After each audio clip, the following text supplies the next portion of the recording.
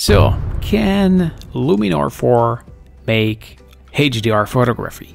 The short answer is no. But the reason is quite simple. It's because Skylum, the company that make Luminar 4, also make Aurora HDR, which is, as we will see in the next seconds, about the same as Luminar 4, except it does HDR. So, let's go through that Aurora HDR application and select the photo we would like to uh, make. So right here I've got 10 HDR uh, bracketing pictures. So let's take my HDR 10 and just drag it into the application.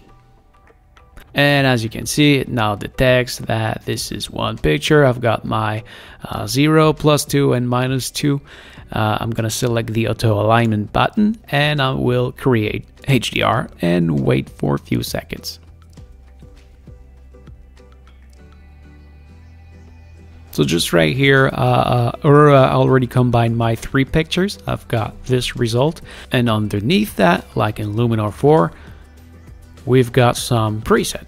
So uh, let's see, I'm gonna go in the essential. We've got the natural look, the vivid look, the detail look, uh, the bright sun look, the glowing, deep HDR look, HDR look 2, tonal compression. Uh, we've got some landscape preset, realistic landscape, enhanced landscape, bright landscape, warm landscape, and you've got a plenty of uh, look, which are some kind of preset. And you can also uh, record your own preset when you modify something. Uh, speaking of modify, we've got this uh, tool just right here. Uh, we've got a bunch of tools to modify the picture. So would, would you like to uh, change the temperature, change the tint, uh, change the exposure, change the contrast, smart tone, which is kind of great because like the name is says, uh, it is a smart tone so it's gonna select what you will probably want to I like the most. Like that. Pretty awesome. Uh, so yeah, uh, you can also go with the highlight, the shadow, the whites, or the blacks. That that's what it is really awesome. It really detect what part of the image are white, black, shadows, highlights. Uh, you can go in saturation, vibrance, color contrast, HDR cl clarity. So yeah, you've got plenty, plenty of options. Uh, you want to play in details? That is too much.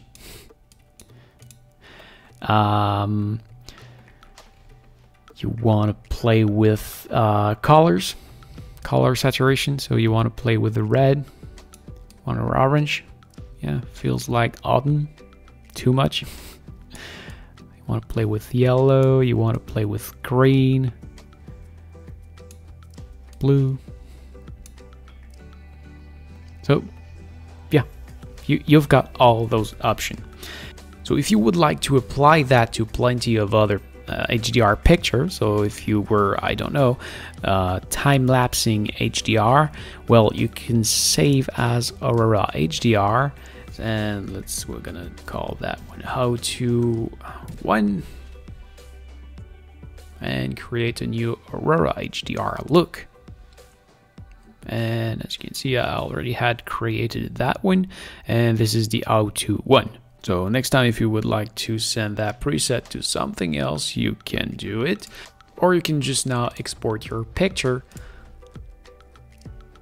in JPEG, PNG, TIFF, or PDF, Photoshop, whatever you want, and save it and you've got your picture. That's it. Now, if you would like to start a patch with that preset, I invite you to take a look at the video in the upper right corner. And if you consider to purchase Aurora HDR or Luminar 4 or any Skylum software, please take a look at my affiliate link in the description. I've got a discount for you. So this is it. Thank you for watching. I hope it helps. If yes, please make a thumbs up. If you have any question, please ask in the comment below. I may simply answer you or even maybe make a video just for you. So don't forget to subscribe, and what you do see back there is from my main channel, so please come take a look at this, right there. Thank you for watching again, see ya!